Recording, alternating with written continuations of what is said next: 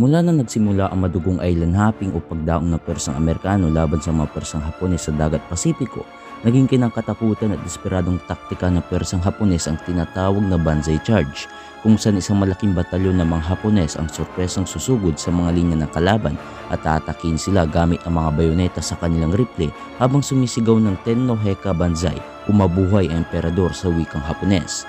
Ang banzai charge o suicide charge ay ang termino na ginagamit ng mga allied powers upang sumangguni sa tila malaalo na pag-atake ng mga Hapon.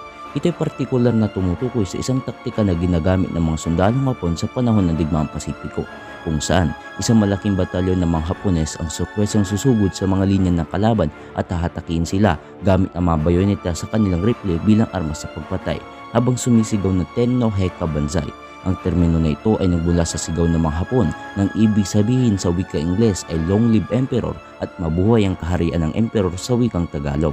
Ang taktika na ito ay kinakatakutan ng mga sundalong Amerikano noong ikalawang digmaan. Tara, ating alamin kung saan nga ba orihinal na nagmula ang Banzai Charge, ang kinakatakutang taktika ng mga Imperial Japanese Army.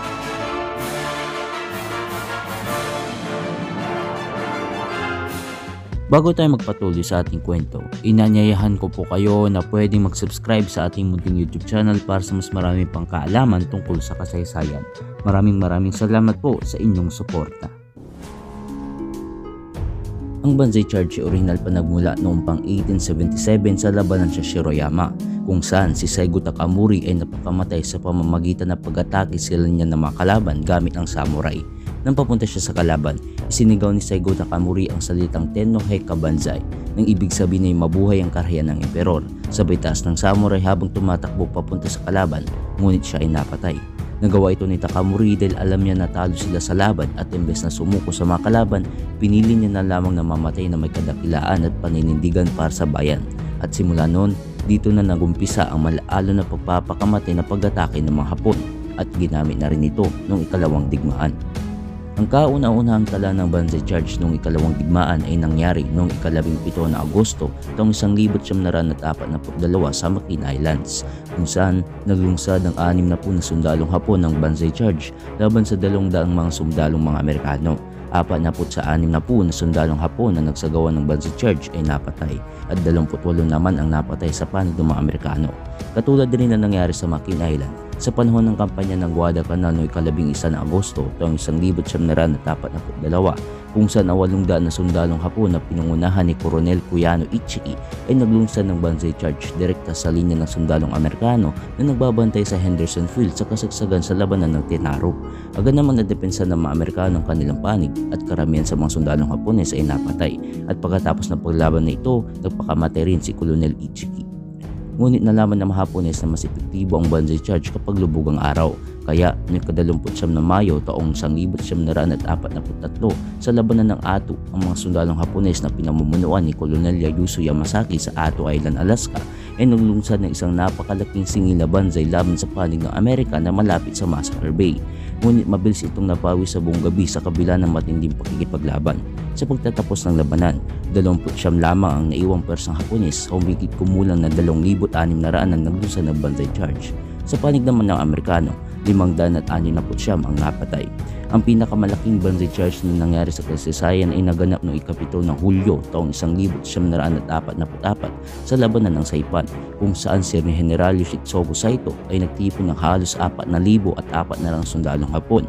Pagkatapos nito, 4,311 ang napatay na Hapon at 406 naman ang napatay sa panig ng Amerikano sa isang gabi pa lamang ito at sa mga huling araw ng kampanya ng mga Amerikano sa isla ng Saipan, hinarap nila ang tinuturing na pinakamalaking banzai charge sa kasaysayan. Bilang bahagi ng huling opensiba ng mga Hapones laban sa mga Amerikano sa Saipan, sa utos ni General Shitsogo Saito ay sabay-sabay na sumalakay noong pasikat pa lamang ang araw ang higit na 4,300 sundalo at maging sibilang Hapones na karamihan ay makawayang sibat ang mga armas papunta sa linya ng 105th Infantry Regiment ng Marinong Amerikano na pinamumunuan ni General Holland Smith. Ang makalalakihan ng mga batalyon sa harapan ay malakas na nakikipaglaban, ngunit hindi mapigilan ang pag-atake ng Banzai Charge. Matindi ang pagdepensa ng mga Amerikano laban sa malatsunaming pagbugso ng mga Hapones sa kanilang hanay, kung saan marami sa kanilang pinagsasaksak ng mga bayoneta ng mga kalaban. Halos limang daang sundalong Amerikano ang napatay sa malatsunaming pagsalakay ng mga Hapones. Pero sa bandang huli ay napigilan rin ang walang humpay na bugso ng Banzai Charge ng mga Hapones. Upang makasigurong patay ng lahat ng mga Hapones, pinagbabaril din nila ang mga nagkalat ng mga bangkay. Sa pagtatapos ng opensiba ng mga Amerikano sa Saipan, higit 3,004 na rang Amerikanong marino ang napatay sa halos isang buong kampanya habang higit na 29 na libong sundalong Hapones naman ang napatay sa kanilang panig, kasama ng apat na mga general na namuno sa Saipan na kundi man napatay sa laban ay napakamatay sa halip na sumuko.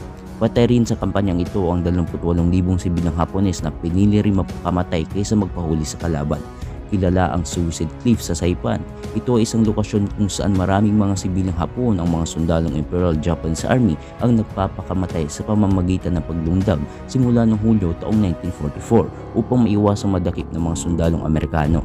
Dahil ang propaganda ng Hapon ay binigyang diin ang brutal na pagtrato ng mga Amerikano sa mga Hapones tulad ng pag-torture kahit na bilanggo na ito o paghahasa sa mga sibilang kababaihan o di kaya war crime ika nga nila. Maraming mga Hapon ang kinakatakutan ng mga Amerikano na ginagahasa at pinapatay ang mga kababayang Hapones at bata. Ang sumakatotal na bilang na napapakamatay sa dalistis na yun hindi alam.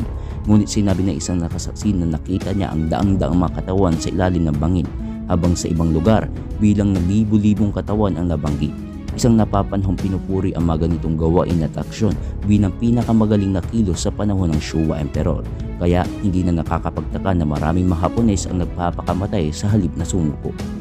Ilang mga sundalong Hapones ang nagtago pa sa mga gubat sa Saipan kahit natapos ng digmaan noong Agosto taong 1945 kabilang ng natatanging Hapones na naiwang buhay sa nangyaring banshee charge na si Kapitan Sakai Oba na binasagan the Fox dahil sa kanyang pagiging mailap. Unang araw ng Disyembre taong 1945 nang sumuko sa mga Amerikano si Kapitan Oba at mga kanyang mga kasamahan. Itinuturing na pinakamalaking palupang banzai charge ang nangyaring banzai charge sa Saipan noong 1944 at ito ang tinagurang pinakamalaking banzai charge na naganap sa kasaysayan. At ang pinakahuling banzai charge sa kasaysayan na nangyari noong 25 ng Marso taong 1945 sa labanan sa Iwo Jima. Ang labanan ay sumiklab sa hilagang bahagi ng Iwo Jima sa loob ng apat na linggo. May isang garison ng mga Hapon sa bundok ng Kurebashi sa bahaging iyon ng isla, kung saan ang tatlong daan na Hapon na pinungunahan ni General Tadamachi Kurebashi ay nagungsan ng banzai charge sa mga Amerikanong sundalo. Bagamat idineklara ng Estados Unidos ng islang Iwo Jima ay nakuha na ng mga Amerikano sa sumunod na araw, ang mga persang Amerikano ay ginugol ang kanilang mga linggo sa paghahanap at pagpatay o pagdakip sa mga holdout ng Hapon na tumangging sumuko at nagpa siya magpatuloy sa pakikipaglabang hanggang sa dulo. Ang ilan sa mga sundalong Hapon ay tumangging sumuko at nagpakamatay na lamang sa pamamagitan ng Seppuku Ceremony.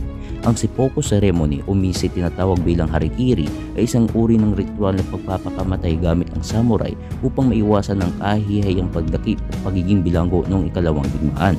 Ang Banzai Charge at Kamikaze Attack ay isa lamang halimbawa na pag-aataking pagpapakamatay na ginagamit noong digmaang Pasipiko.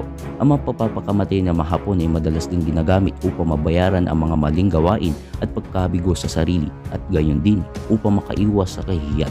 Dose-dose ng mga Amerikanong napatay sa prosesong ito ang dalawang hapon na holdout na napatuloy na nagtago sa mga yunglim ng isla ay naghanap ng pagkain at mga suklay hanggang sa tuluyan silang sumuko noong 1949, halos apat na taon pagkatapos ng World War II.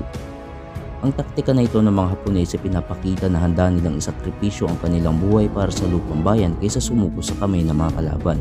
Pinili nilang mas mabuting mamatay na may sundalong paninindigan kaysa mabuhay sa kahiyan.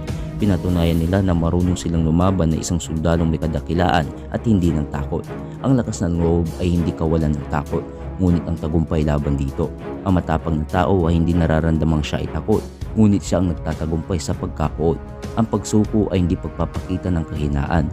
Sadyang may mga bagay lang talaga na hindi natin kayang gawa ng paraan kahit gaano mapagustong lumaban. At yan ang pinatunayan ng mga sundalong Imperial Japanese Army na mas mabuting mamatay sa gitna ng digmaan kaysa sumuko sa kamay ng mga kalaban.